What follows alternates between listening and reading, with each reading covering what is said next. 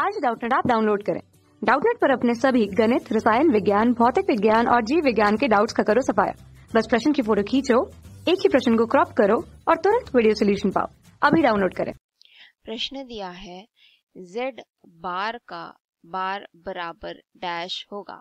चलिए सबसे पहले हम यहाँ पर z को क्या मानते हैं? Z हमारा क्या है? समिश्र संख्या है, जिसका मान क्या होता है?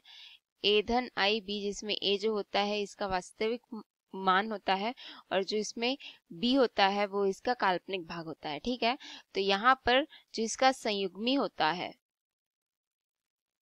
संयुग्मी, जिसे हम लोग z बार से दर्शाते हैं, इसका मान क्या हो जाता है? A ऋण आई बी मतलब जो काल्पनिक भाग होता है, उसके सामने ऋण का मान लग जाता है। अब अगर z का बार बराबर ये है तो यहाँ पर z के बार का बार का मतलब क्या होगा? ए ऋण आई बी का यहाँ पर संयुग्मी आ जाएगा जो कि क्या हो जाएगा? इसके काल्पनिक भाग के सामने वाला जो चिन्ह है वो वापस से बदल जाएगा और ये क्या बन जाएगा? अगर ऋण है तो ऋण का बदल के क्या हो जाएगा? धन हो जाएगा। तो यहाँ पर से ए धन आई बी जो है ये क्या मा, किसका मान है? जेड का। तो यहाँ पर से इसका मान किसके बराबर आएगा? जेड के। तो हम यहाँ पर से क्या देख सकते हैं कि z बार का बार बराबर z होता है। यही हमारे रिक्त स्थान का उत्तर है।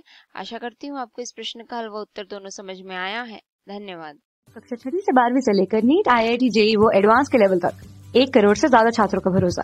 आज ही डाउनलोड करें डाउट नेट ऐप या व्हाट्सएप करें अपने सारे डाउट्स आठ चार सौ चार सौ चार सौ पर।